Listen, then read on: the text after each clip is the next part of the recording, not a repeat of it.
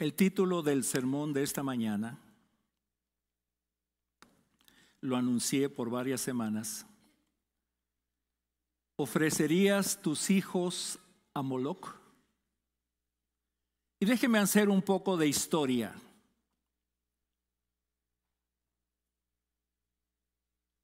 Los primeros diez capítulos del libro de Reyes, del primer, primer libro de Reyes, los primeros diez capítulos, nos enseñan de este caballero, Salomón.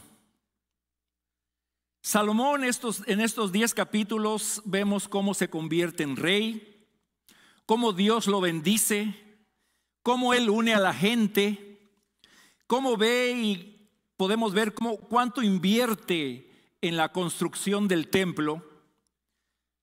Vemos las eh, técnicas de sabiduría la sabiduría, vemos cómo demuestra su amor por la justicia y podemos ver cómo muchos reyes y reinas de otros países lejanos vienen a rendirle homenaje y sabiduría, porque el reino de Salomón es hermoso.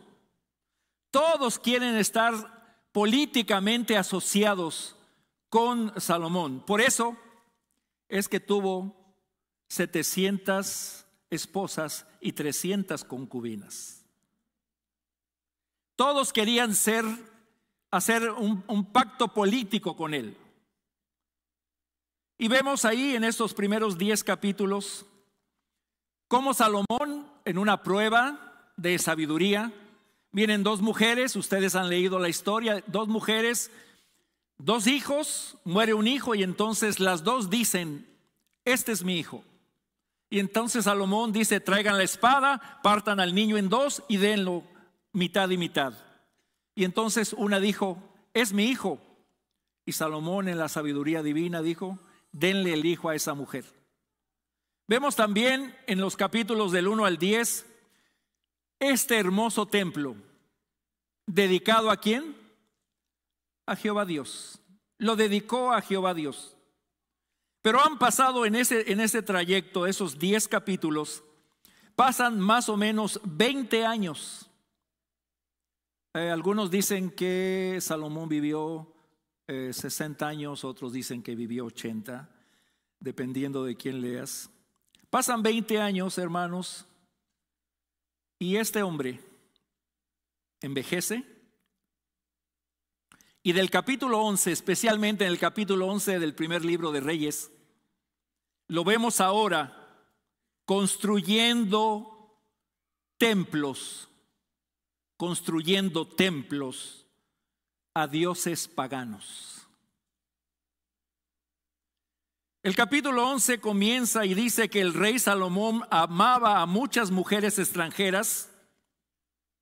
Dios le había dicho, no te juntes con ellas porque ellas van a hacer que tu corazón se incline hacia sus dioses. Y con el fin, como ya dije, de establecer alianzas políticas, pues se casa con, ¿cuántas dije? 700 y después tenía la reserva de 300. Pero él amaba solamente a una.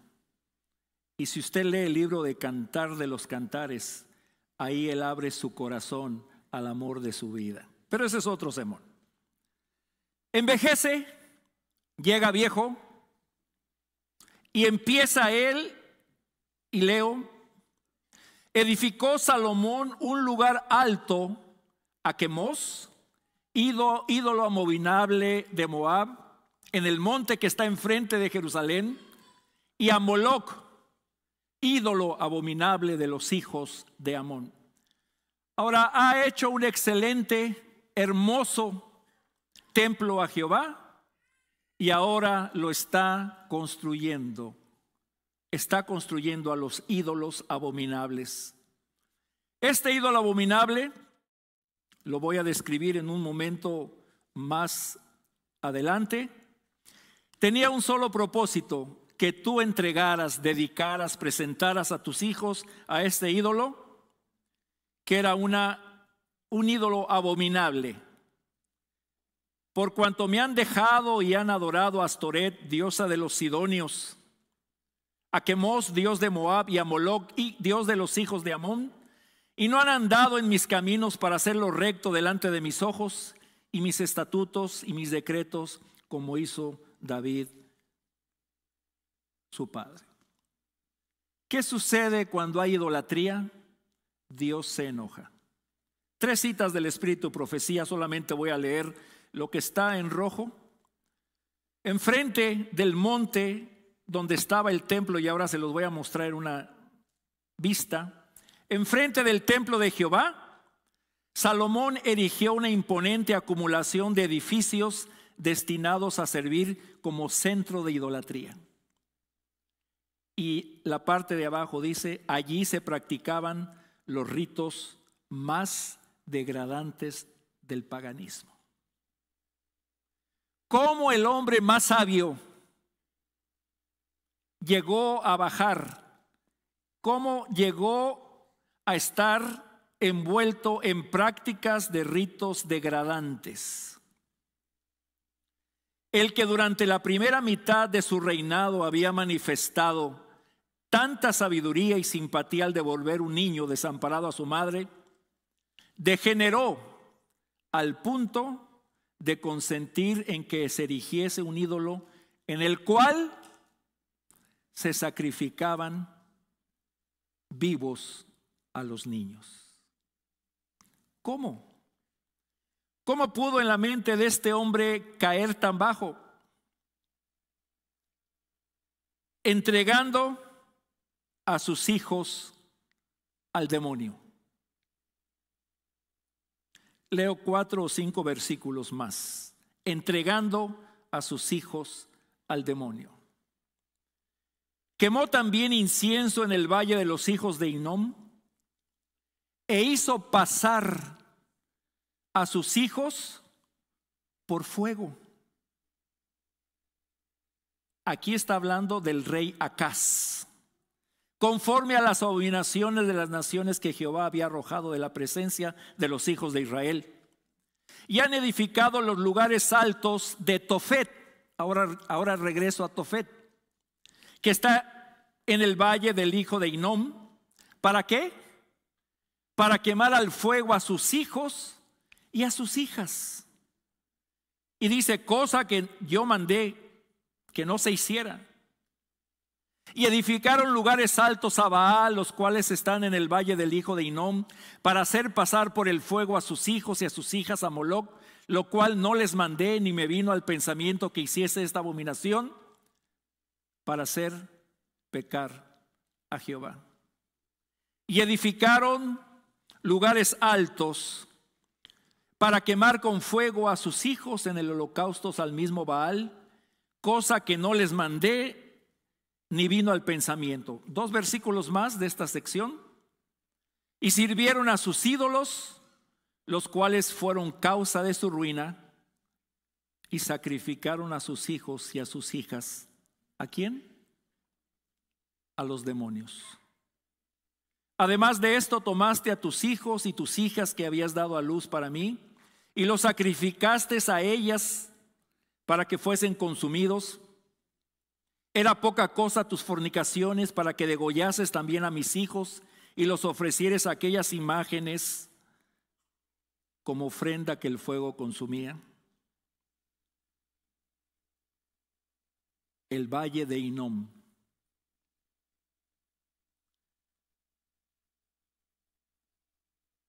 La adoración de Moloch, hermanos, para decirlo rápidamente, se practicaba fuera, enfrente del templo de Jerusalén, en el valle del hijo de Inom, que se llamaba Tofet. Hay muchas eh, diferentes traducciones a la palabra, pero era un lugar sencillamente eh, de vergüenza, un lugar donde arde o donde se quema, un pozo profundo. Y lo que voy a describir, eh, lo que sigue, es muy gráfico y creo que nos va a impactar a todos. El monte Moria a mi izquierda, a su derecha, ¿sí? No, también a su, también a su izquierda. Monte Moria, donde está el templo de Jehová. Enfrente está el monte de los olivos. Y abajo está el monte o el valle de Inom. Es ahí, en ese lugar, donde se construyó lo siguiente. Moloch es un ídolo con cara de becerro, con sus brazos y sus manos abiertas, en el cual se encendía por atrás de bronce hasta que sus manos estaban ardiendo. Para llegar a la cámara principal, dicen algunos eh, estudiosos judíos, había siete cámaras dependiendo de tu ofrenda.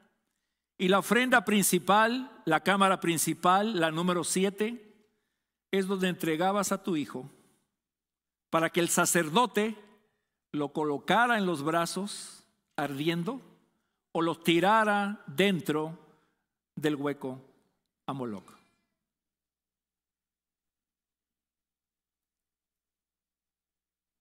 ¿Qué padre podía en su sano juicio entregar a su hijo para ser quemado vivo? ¿Cómo llegar a esa decisión? Tú estás viendo que tus hijos se están muriendo. Y para evitar que los padres se arrepintieran, aunque era muy tarde ahí, los sacerdotes pedían que la música se tocara más fuerte para no escuchar los crujidos de cuando la carne se quema, ni los gritos de tus hijos y Salomón permitió eso. Y Manasés, el peor rey de Israel, hizo, entregó a sus hijos. Acaz, otro rey muy malo, también. ¿Cómo en nuestro sano juicio podemos entregar a nuestros hijos a Moloch? Tú dirás, ya no soy padre, mis hijos se fueron, los nietos no me visitan. Hay mucho que hacer por nuestros hijos, hermanos, no importa la edad que haya. ¿No lo cree usted así? Ten cuidado, Dios le advirtió y le dijo a Israel con palabras muy fuertes, no des tu hijo para ofrecerlo por fuego, por fuego a Moloch, ni contamines así el nombre de tu Dios. Y lo que sigue son palabras bien fuertes también. Dirás asimismo a los hijos de Israel, cualquier varón de los hijos de Israel o de los extranjeros que moren en Israel, que ofreciere alguno de sus hijos a Moloch, ¿qué le va a pasar? De seguro morirá. El pueblo de la tierra lo apedreará. Y yo pondré mi rostro contra tal varón y lo cortaré de entre tu pueblo, por cuanto dio de sus hijos a Moloch contaminando mi santuario y profanando mi santo monte. Nombre, si el pueblo de la tierra cerrare sus ojos respecto de aquel varón, que hubiere dado a sus hijos a Moloch para no matarle, entonces yo pondré mi rostro contra aquel varón y contra su familia, y le cortaré de entre su pueblo, con todos los que fornicaron en pos de él, prostituyéndose con Moloch. No harás así a Jehová tu Dios, porque cosa abominable que Jehová aborrece, hicieron ellos a sus dioses, pues aún a sus hijos y a sus hijas quemaban en el fuego a sus dioses. Y miren cómo lo compara Deuteronomio. No se ha hallado en ti quien haga pasar a su hijo o su hija por el fuego, ni quien practique adivinación, ni agorero, ni sortílego, ni hechicero, ni encantador, porque todo esto que es, hermanos, abominación a Jehová. Y entonces seguramente tú te estás preguntando hoy, pero ya no hay Moloch. Ya no se nos pide que ofrezcamos a nuestros niños en sacrificio.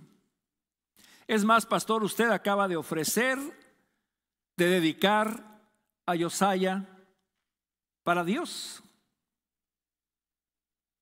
las consecuencias de adorar a Moloch, el fuego de Moloch, y resumo varios versículos aquí, para Dios es cosa detestable. Por consecuencia de la adoración a Moloch, la tierra sería desolada. Por consecuencia de adorar a Moloch, la tribu de Gad fue conquistada y el pueblo de Israel se alejó de Dios y se contaminó. Y en el último sermón de Esteban, en el libro de Hechos capítulo 7, él menciona que por consecuencia de la adoración de Moloch, los israelitas fueron llevados cautivos a Babilonia. Y tal vez te estás preguntando, ¿y ese sermón de qué me sirve a mí? ¿Ese sermón de qué me sirve a mí? Te pregunto, y es una pregunta bien tonta en esta mañana. ¿Ofrecerías tus hijos a Moloch? La respuesta es no. Es la respuesta lógica de un Salomón que 20 años antes estaba gastando tiempo, energía y recursos para construir un templo a Jehová, pero ahora está ofreciendo a sus hijos a Moloch. ¿Cómo puedo hacerlo? El apetito de Moloch son los niños y siguen siendo los niños. El cristianismo, hermanos, siempre ha estado bajo ataque. Siempre. Hoy en día estamos siendo atacados continuamente. Si tú levantas la voz o levantas a Cristo Jesús y dices algo en contra de un grupo, ah, pues mira, los cristianos son homofóbicos, los cristianos no predican a un Dios inclusivo. Los cristianos son muy duros.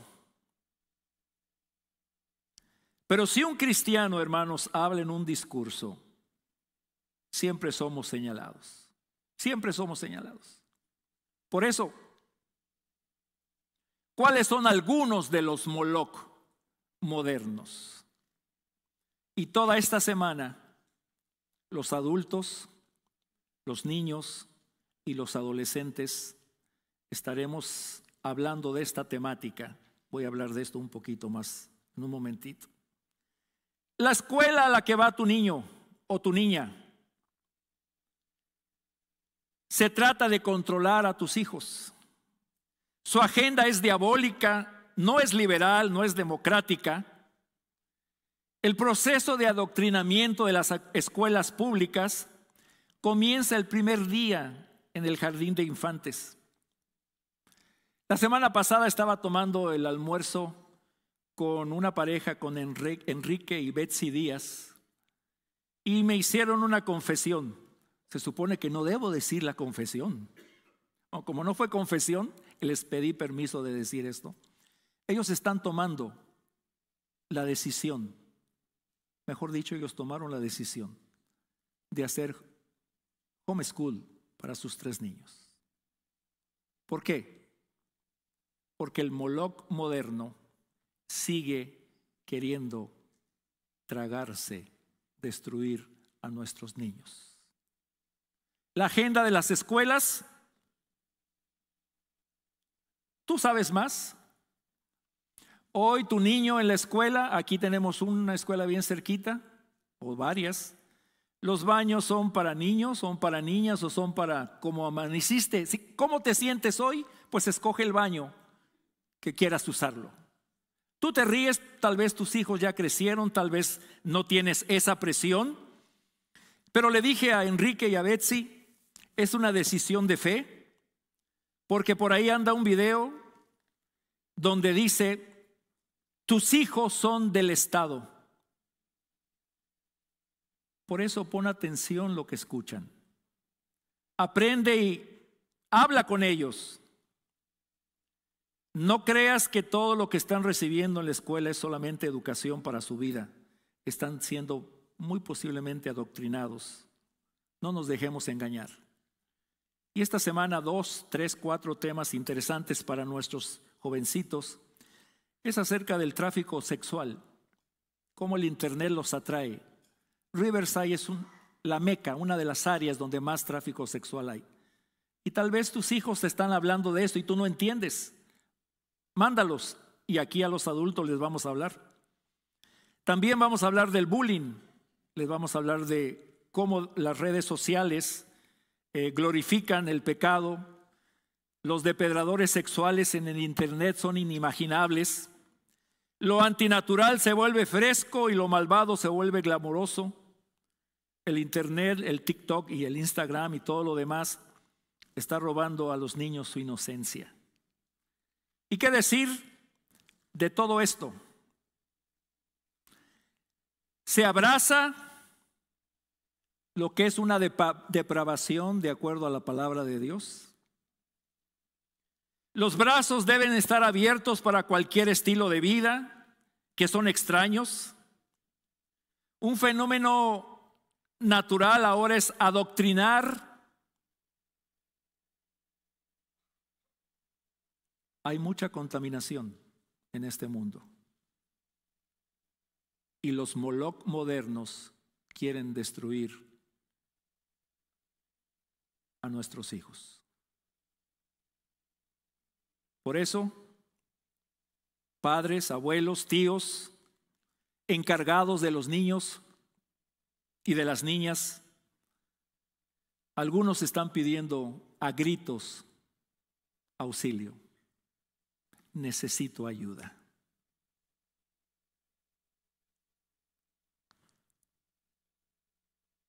Esta semana no es miembro de iglesia, ni siquiera conozco yo a la persona. Le preguntó a alguien, fíjese, mi niño llegó preguntándome, mamá, ¿qué soy? ¿Soy niño o soy niña? Y entonces esta persona le preguntó a la mamá, a esta mamá, ¿por qué? ¿Qué fue lo que le dijo su niño? Pues que en la escuela le están diciendo que conforme te sientas, así eres. Y el lunes, un doctor, pediatra, les hablará a los jovencitos acerca de la de todo esto, específicamente a ellos y a nosotros alguien nos va a hablar de cómo están siendo atacados.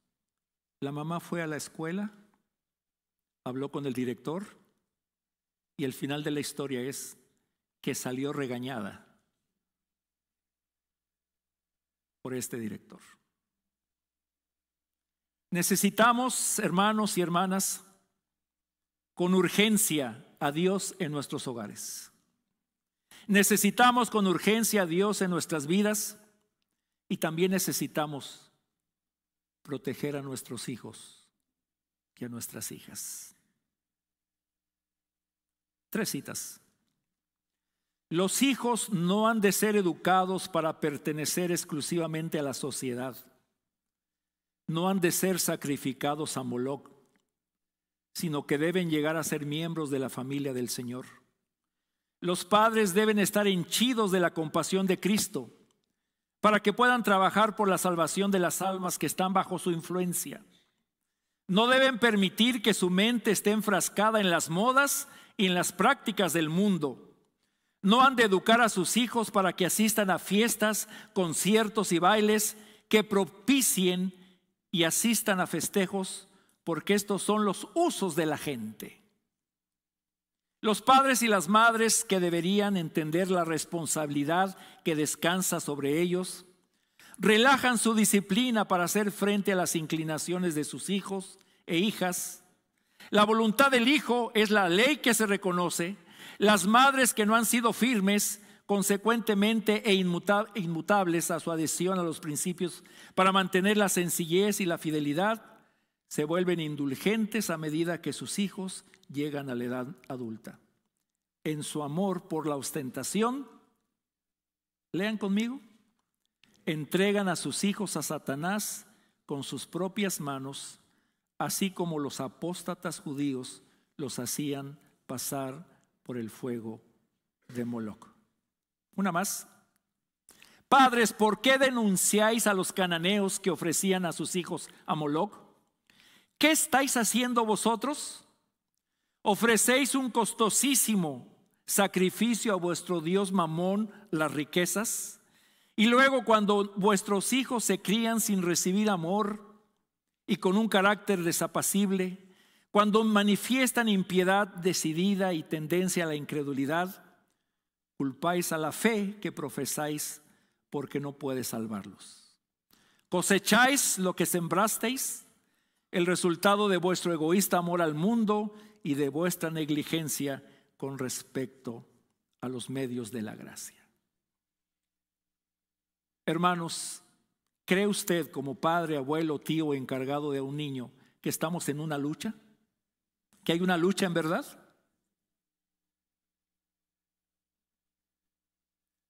Primero, nuestra familia necesita a Dios. Amén, hermanos. Ahí no podemos negociar. Nuestra familia necesita a Dios y hay que reconocerlo. Y estamos aquí, estamos en el mejor lugar, en la casa de Dios, donde el sábado pasado dije, venimos aquí, Dios nos habla, le hablamos a Dios y encontramos la voluntad de Dios. Número dos, o lo siguiente, hay que estar con la certeza y la seguridad de que todos los días entregamos a nuestra familia en las manos de Dios. Todos los días, con la certeza y seguridad de entregarlos todos los días. Pero pastor, mi hijo ya ya está adulto, mi hijo ya tiene hijos. Te voy a dejar de lectura si estás interesado un capítulo que lo voy a mencionar al final de este sermón. Reconoce que tu familia necesita a Dios, entrega a tu familia todos los días y pelea por tu familia. Tres, cuatro versículos que te van a ayudar, hermano. Tres o cuatro versículos. Nehemías. Después miré y me levanté y dije a los nobles y a los oficiales y al resto del pueblo, no temáis delante de ellos acordaos del Señor, grande y temible. ¿Y qué dice? Pelead por vuestros hermanos, por vuestros hijos, por vuestras hijas, por vuestras mujeres y por vuestras casas. Amén, hermanos, amén. Nadie va a hacer tu trabajo en tu casa. Tú mandas, si te dejan, pero tú mandas. Y si quieres ser el hombre de la casa, pelea por tus hijos. Si quieres ser la reina de la casa, pelea por tus hijas. Abuelos, abuelas, tíos, juntos pelear por nuestros hijos. Amén. Y te pondré en este pueblo por muro fortificado de bronce y pelearán contra ti, pero no te vencerán. Porque yo estoy contigo. ¿Para qué, hermanos? léalo conmigo. Yo estoy contigo para guardarte y defenderte. Estamos del lado del equipo que gana, hermanos. Estamos del lado de los campeones. Pero así dice Jehová, ciertamente el cautivo será rescatado del valiente y el botín será arrebatado al tirano. ¿Y qué dice la palabra? Y tu pleito yo lo pelearé y yo salvaré a tus hijos. Amén, hermanos. Entonces, qué tristeza sería que estemos haciendo lo mismo que hizo Salomón o Manasés o Acaz o varios reyes de Israel. Qué tristeza adorar en el templo de Dios y después escuchar por el camino los gritos de los niños que están siendo sacrificados a Satanás. La pregunta es, ¿quién en su sano juicio puede hacer entregar a sus hijos a Satanás? Salomón traicionó a Dios. Se perdió por el brillo del mundo que lo rodeaba y adoptó un estilo de adoración que Dios no había mandado. Pero no te creas que Salomón dijo, creo que voy a hacer un, templo a Moloch, creo que voy a adorar a los cielos, creo que voy a adorar mañana a las estrellas. Primero, le hizo su casa a su esposa principal. ¿De dónde era la esposa principal? Muy bien, de Egipto. Era una egipcia. El amor, el amor de Salomón. Después hace su casa, la de él, la de Salomón, que le tomó creo que 13 años. Y después hace la casa de Jehová, que le tomó 7 años. Pasan 20 años, se levantan banderas rojas, no presta atención. Y hermanos, podemos estar tentados en hacer lo mismo, copiar o imitar los estilos del mundo. Podemos decir, no es peligroso, no tiene nada de malo. Un juego que mis hijos jueguen, una película que veamos, un amigo de tu niño, una amiga de tus hijos. No nos perdamos, hermanos, con el brillo de las cosas que no traen la verdadera felicidad. Mi pregunta en esta mañana para ti, ¿dónde estamos poniendo a nuestros hijos? ¿Qué estás haciendo para que tu familia no se contamine? ¿Qué estás haciendo para escuchar la voz de Dios y no la voz de tu razón o de tu corazón? ¿Y cómo poder evitar las costumbres, no mezclar las costumbres? Quiero terminar con lo siguiente, hermanos. Te quiero invitar a que destruyamos los Moloch que adoramos. Y lo voy a hacer con la historia de Josías. Te voy a contar. Josías es un jovencito que a los ocho años de edad lo ponen de rey. ¿Quién fue su papá? Amón. Amón reina dos, dos años y los mismos que lo servían lo matan. ¿Quién era el abuelo de Josías? Manasés. ¿Qué hizo Manasés? Segunda de Crónicas, capítulo. No lo leas hoy porque vas a perder. Mejor te lo digo al final. Josías empieza a reinar. No tiene papá, pero tiene una mamá. Y esta mamá está segura de que sus asesores de este jovencito sean lo mejor. Dice la escritura, a los ocho años comenzó a reinar e hizo lo recto ante los ojos de Jehová. ¿Cómo se llama? Josías significa Jehová es mi salvación. ¿Quién fue su abuelo? El peor de los reyes. Hizo lo recto ante los ojos de Jehová y anduvo en los caminos de David sin apartarse a la derecha ni a la izquierda. Y Josías aprendió a poner a Dios en primer lugar cuando era joven. Y te lo demuestro.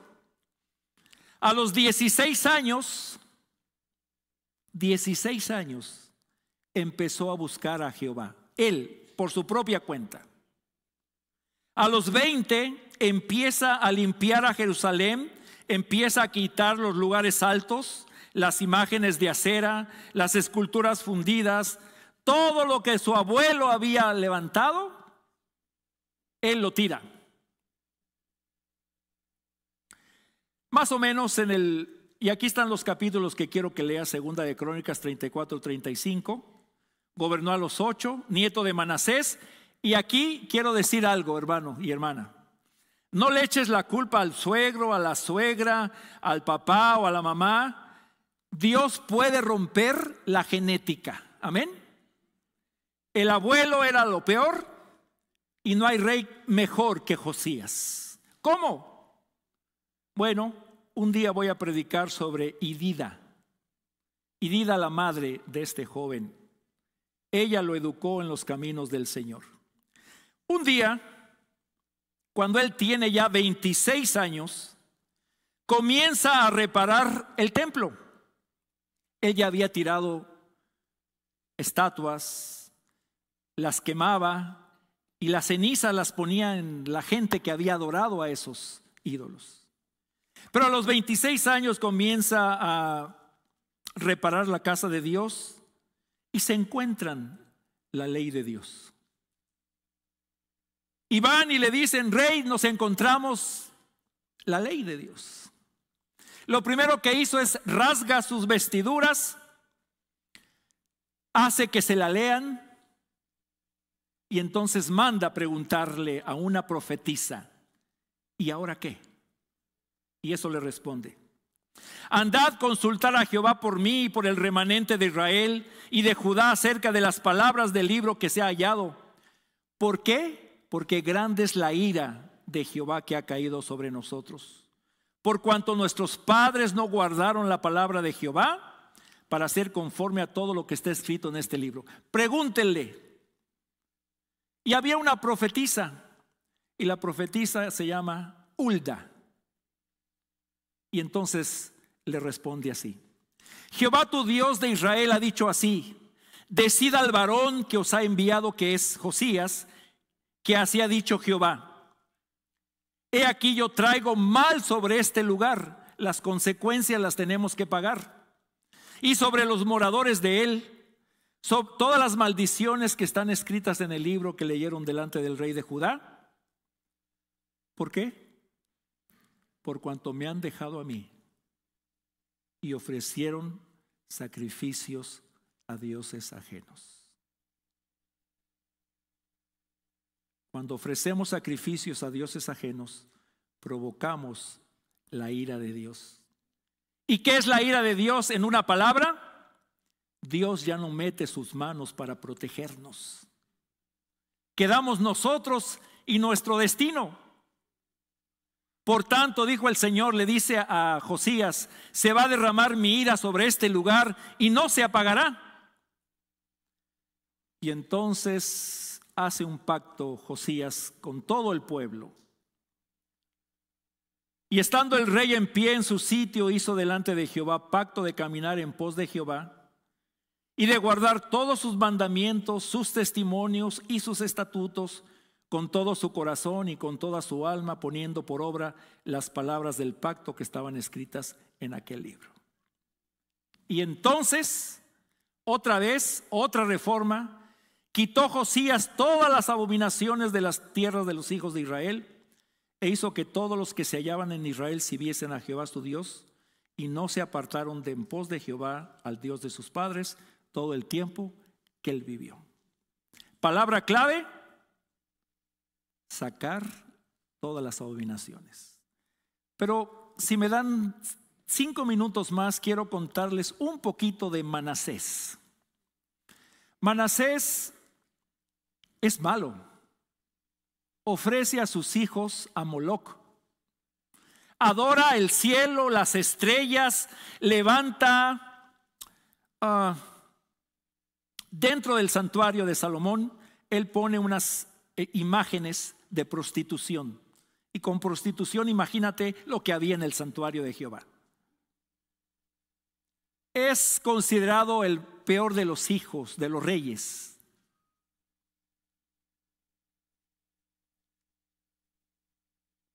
¿Hay esperanza para nuestros hijos?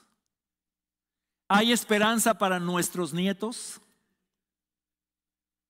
Manasés es arrastrado cautivo a Babilonia.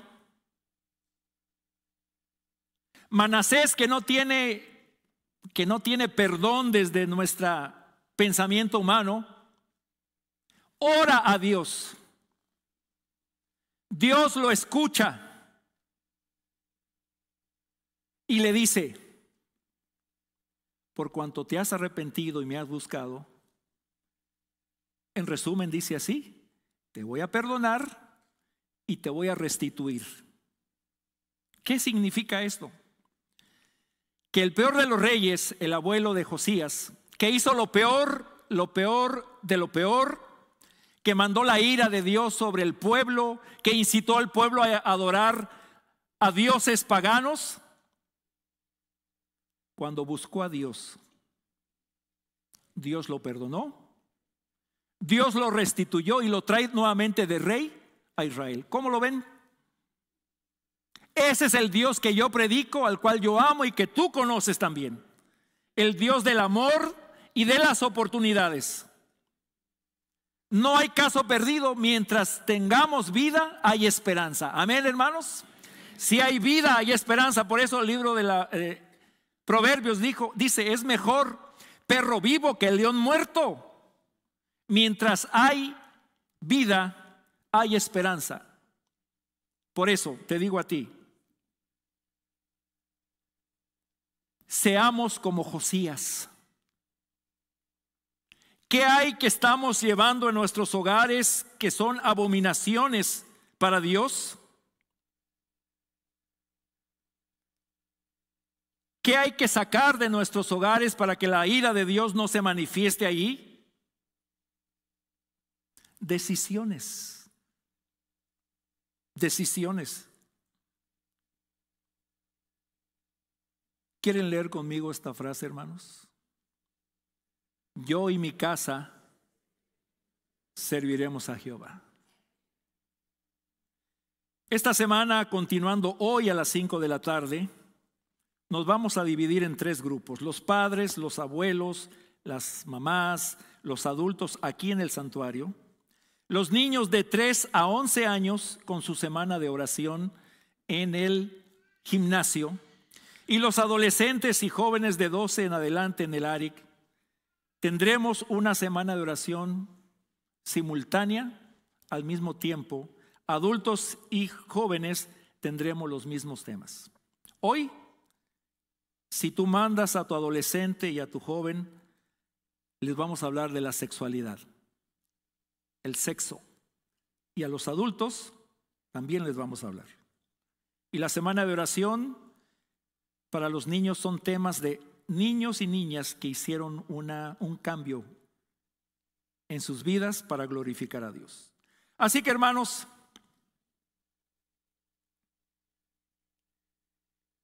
estrategias para descubrir a los molochs modernos. Tendremos dentro de dos semanas y tres semanas un campamento para sus hijos. Ya algunos se registraron al entrar las hermanas y los hermanos están a la salida para que registres a tus niños. Esta semana estoy emocionado de que podamos juntos, hermanos, como iglesia y como familias, llevar a nuestros niños a los brazos de quién? A los brazos de Jesús. No creas, no creas, no creas ni por un minuto que el caso de tu hijo, de tu hija es caso perdido es más poderoso nuestro Dios. El poder de Dios transforma, cambia. Si le dio oportunidad a Manasés, todos tenemos oportunidad entonces. Entreguemos a nuestros hijos en los brazos de Jesús. Un versículo más. No améis al mundo ni las cosas que están en el mundo. Si alguno ama al mundo, el amor del Padre no está en él. Porque todo lo que hay en el mundo, los deseos de la carne, los deseos de los ojos y la vanagloria de la vida, no proviene del Padre, sino del mundo. Y el mundo pasa y sus deseos. Pero el que hace la voluntad de Dios, permanece para siempre. Tal vez el mensaje es para ti, madre, padre, abuelo, o tal vez tú estás en casa escuchándolo. Hoy decidimos por la gracia de Dios pelear por nuestra familia. Amén, hermanos. Hoy quiero decir, no hay caso perdido, aunque parece que está perdido, mientras respira, Dios tiene una oportunidad. Y en esta mañana, hermanos, quisiera pedir a los padres, a los niños, a los niños, si, me acompañan, vengan niños aquí, niños y jovencitos, vengan aquí, acompañen a su pastor. Un ratito, 30 minutos. Es tiempo de que sus hijos y sus hijas reciban una bendición. Y hay muchos que ahora están en el ARIC, así que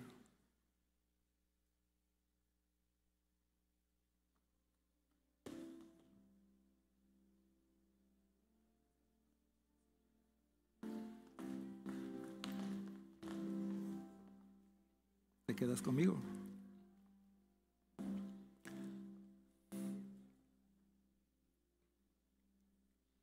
Yo sé que tú estás preocupado igual que yo por los hijos. O tal vez estás preocupado por tus nietos. Yo solamente quiero decirte, hermano, hermana, no hay mejor lugar que donde poner a nuestros hijos que las manos de Dios. No hay caso perdido, no hay caso perdido. El Espíritu de Dios seguirá trabajando en tu corazón y en el corazón de los tuyos. Quisiera pedirte con todo el amor y el cariño que te tengo, haz un esfuerzo esta semana. Hay temas que tú no puedes hablar o no sabes cómo hablarle a tus hijos. Permite que la iglesia te ayude. Hay temas que tal vez quieres aprender más. Ven acá. Y si tu niño todavía no entra en esta categoría, hay una hermosa semana de oración para los, nuestros niños.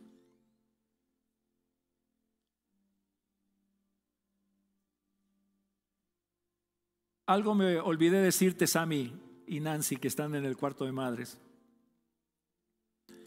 Preparen a sus niños para predicar el Evangelio. Y vendrá el Espíritu Santo sobre viejos y viejas, sobre jóvenes y niños, y darán testimonio. No hay caso perdido. Pelea por tu familia.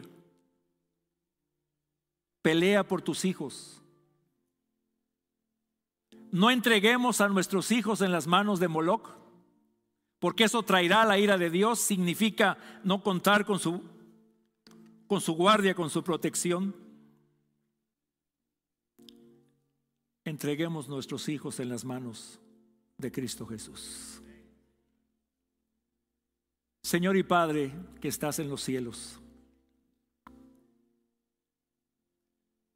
Aquí hay algunos de los niños y niñas de la iglesia que están siendo bombardeados con doctrinas falsas, con mensajes espurios, con palabras contrarias a tu palabra, Señor. Y es por eso que en esta mañana Quiero pedir una bendición por estos niños y niñas que están aquí en la plataforma, Señor. Protégelos, bendícelos. Dale a sus padres, a sus madres, a sus abuelos, a sus tutores.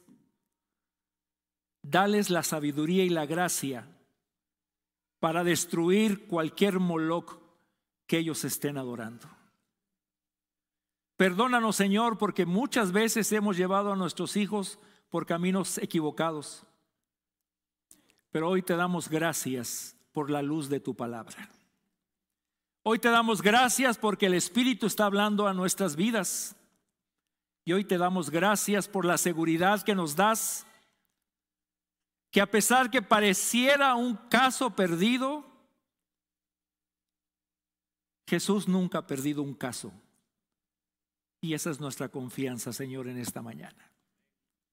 Bendícenos al iniciar esta semana de oración, que podamos ser utilizados por el Espíritu Santo y sobre todo, Señor, que Jesús camine alrededor de cada uno de nosotros. Protégenos de todo mal y que la honra y la gloria sean siempre para Cristo Jesús. En ese poderoso nombre oramos y te damos gracias. Amén.